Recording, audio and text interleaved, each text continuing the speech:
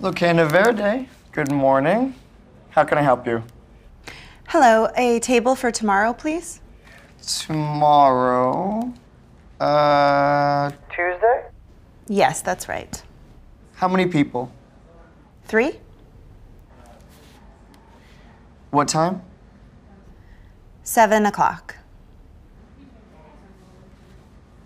What's your name, please? Jenny Zielinski. That's Z I E L I N S K I. Thank you, Ms. Uh, Zielinski. Okay, so a table for three on Tuesday at 7. Great. Thanks. Bye. Goodbye.